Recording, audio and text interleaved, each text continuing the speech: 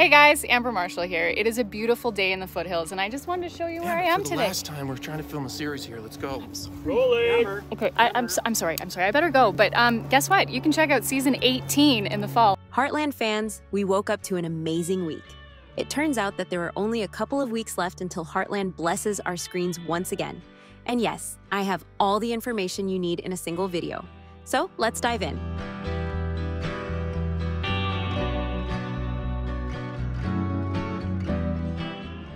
Here is great news.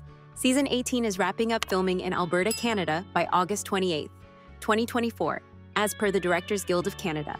Back in May 2024, it was announced that season 18 would hit Canadian TV screens by late October 2024, with a US release following in early 2025. And last week, it was confirmed that Heartland season 18 will officially be released on October 6th on CBC. But it will be available on September 29th on CBC Gem. Of course, these will be available for Canada only, but still, it is something. Like, this means that the US audience will get the new season a few months later, and there is a high chance that Netflix will get the new season on the platform even before that, making it available to the entire world. Either way, season 18 is finally here, and I cannot wait to review it for you guys. Are you as excited as I am? Let me know in the comments below. And here's a fun tidbit. On July 15th, the show hosted its famous Fan Extras Day, where around a thousand fans from all over the world joined in for a special rodeo scene shot in Millerville. The episode, directed by Michelle Morgan, who's also our beloved Lou Fleming, is part of season 18 and will be the fifth episode. This is Michelle's second time directing on Fan Day. She loves the fans' enthusiasm, but directing them has its challenges. They're super excited to be there, which makes them really well behaved on set. Sometimes a little too well behaved, Michelle shared. They follow instructions perfectly, which can make the crowd scenes look a bit too perfect. Real crowds are more unpredictable. You'll have people chatting, drinking, or just chilling. Do you like Michelle's directing style? Let me know in the comments. Now, while we don't have an official synopsis for season 18 yet, we do have some juicy hints. The season 17 finale saw Shane and Chloe, played by Sam Duke and Catherine Crane, finally tie the knot, a huge moment for these longtime characters. But season 18 is going to shake things up. Shane and Chloe are leaving the quiet ranch life behind and heading to the big city of Philadelphia to start their married life. Will you miss Shane and Chloe in the series? Can't wait to hear your thoughts about them. If things go well for Lindy this season, we might see her role as Amy's assistant become even more important in Heartland season 18. As for Amy, she could be stepping into a new romance this season, so get ready for some love stories in the next one. Whether it's with a new love interest we haven't met yet, or continued her search if she doesn't find the one just yet, romance might be a big part of Amy's journey ahead.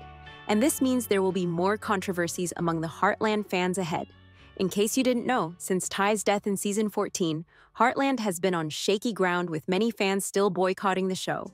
Even though it was Graham Wardle's decision to leave, fans are upset that the producers didn't try harder to keep him on. After all, the love story between Amy and Ty was the heart of the series. Without Ty, Amy seemed incomplete, like half of a whole, at least at first. But after four seasons without him, to me, it's clear that Amy is doing just fine on her own. Sure, it's not the same as when Ty was around, but Amy proves she's the true leading character of the show. Her bond with the horses is still the main focus, and while Ty was an important part of her life, she's still thriving without him. Now it seems like the time has finally come for Amy to move on romantically and find a new love interest in the show. In the past few seasons, she's had some flirty moments, but none of them stuck. Season 18, however, might introduce someone who could really replace Ty, and this could spark some serious controversy among fans. Mark my words, the fandom will be split over Amy's love life. I've already seen it in my comment section. Some fans want Amy to be happy whether she has a new man or not, while others feel like a new boyfriend would be disrespectful to Ty's memory. Personally, I lean toward the first group because I want to see Amy happy, even though I'm still upset that Wardle left so suddenly. But I'm dying to hear your thoughts about Amy's love life. Do you think she should find a new love this season? Or would you be mad if she replaced Ty? Don't worry, it's not just love that's in the air. There's also some financial drama brewing. With Bartlett Foods pulling out of their beef deal, the ranch will need to find new ways to keep the Heartland beef business thriving. Expect plenty of business talk and family drama. Honestly, it is always fun to see fictional characters getting into real life problems. So it will be interesting to see our beloved characters discussing money on the show. If you're interested in more Heartland related content, make sure to like and follow. See you in the next one.